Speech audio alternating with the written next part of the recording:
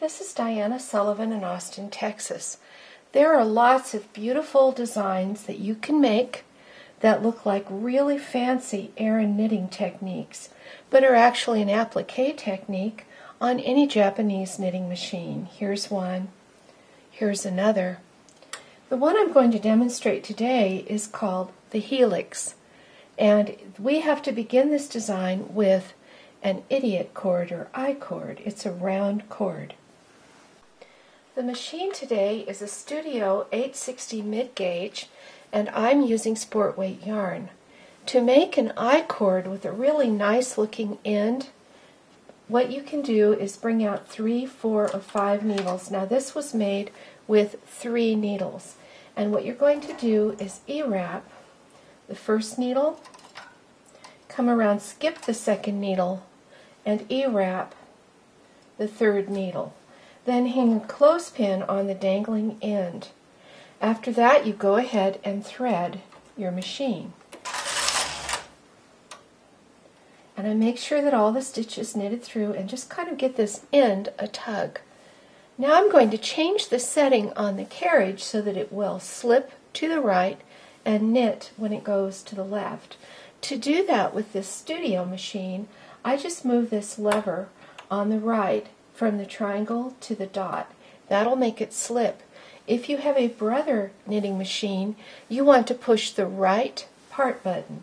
Now when I go from left to right, it just comes across with the yarn in front and it doesn't knit. And I just go back and forth. Oh, that needs to knit through there. A couple of more times just using my free hand to apply a little weight. After I've gone back and forth a few times, then I can use a claw weight. So what I'm going to do is knit about six times the length of the sample I'm going to make of this design so that we have a really long piece of idiot cord to work with. You have to have the cord done before you can make the rest of your project. When you have enough I cord for your project, Finish it off just by cutting the yarn and letting it drop. You see, what I do on these is I unravel the I card cord that I didn't need. So I just make it a little longer than I need. And here's our piece of I cord, nice and round, very three-dimensional. I think it helps to see it against my hand what it's like. Now to make my regular sample, I'm just doing an E-wrap cast on after doing a few rows with waste yarn.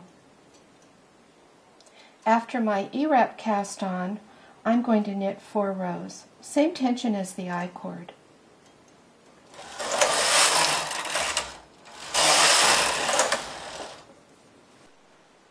I folded my I-cord to find the center and I'm going to be using for this first couple of rows needles number one left and number one right. And what I'm going to do is take the transfer tool and go under one stitch in the center of the I cord. Now stitches have a V shape and I'm going under both legs of the V shape. Let me get in really close so you can see that. So my transfer tool is under both legs of one of the V-shaped stitches and I'm going to hang that on number one left and then I'm going to get the next stitch to the right and I'm going to hang it on number one right. Now I'm going to knit four rows.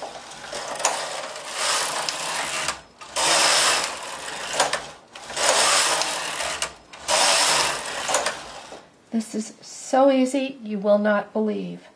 What you do is you skip two stitches counting toward the right on this I-cord. Put your transfer tool under the third stitch and go over to needle number three right and hang that. Then on the left hand arm of the I-cord sticking out, count to the third loop on it and put it on needle number three left. Knit four rows.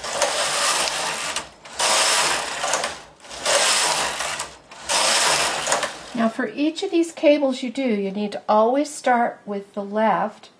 If you wanted to always start with the right, it would be fine, but you must be consistent. You're going to count five stitches down from where you picked up this stitch. So you go one, two, three, four, five. Get under both legs, hang that on three right. Grab the right hand one, count five stitches down, one, two, three, four, five.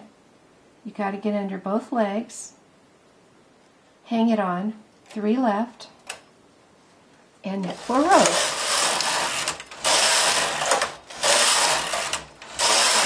Now you just do it again. Grab the left hand one, count five down, hang it on. Three right, grab the right hand one, one, two, three, four, five, grab that stitch, five rows down, hang it on. Three left, knit five, four rows.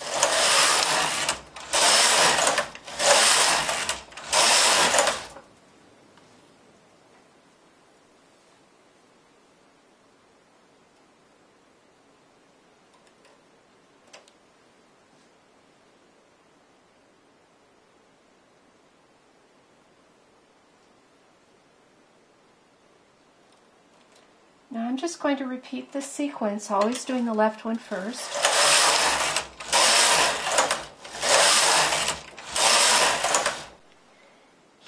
Here I am picking up what's going to be my last couple of times.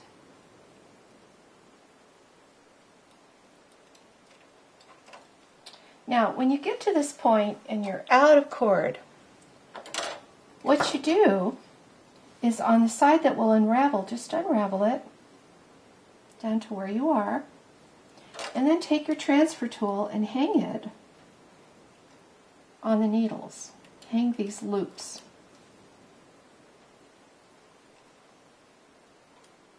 There are three of them, and I need to get all three.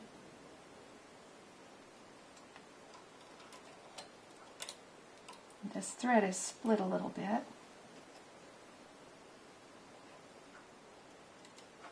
And then over on this side where it doesn't unravel, I'm going to clip it. I clip it a couple of rows later than where I want to work it down to, and then I just pick the bits out. And I'm going to hang these loops, and again, on the needles.